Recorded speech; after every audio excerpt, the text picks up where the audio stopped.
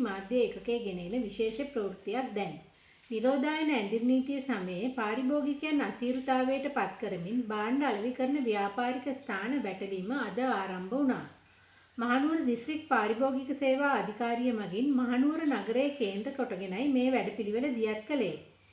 වැඩි මිලට භාණ්ඩ අලෙවි කිරීම, භාණ්ඩ සැඟවීම ඇතුළු පාරිභෝගික පනත උල්ලංඝනය කරන වෙළඳුන් වැටලීම මෙම වැඩසටහනේ එක් අරමුණක්.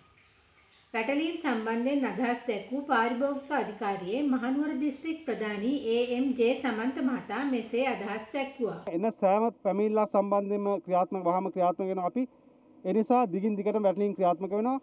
අපි වෙළඳුන්ට අවවාද කරනවා එවැනි ක්‍රියාවල නිරත වෙන්න එපා.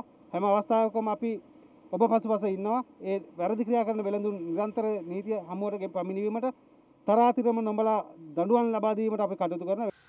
මහනුවර දිස්ත්‍රික් මාධ්‍ය ඒකකයේ ගෙනෙන තවත් පුවත් සමගින් යලි හමු වෙමු.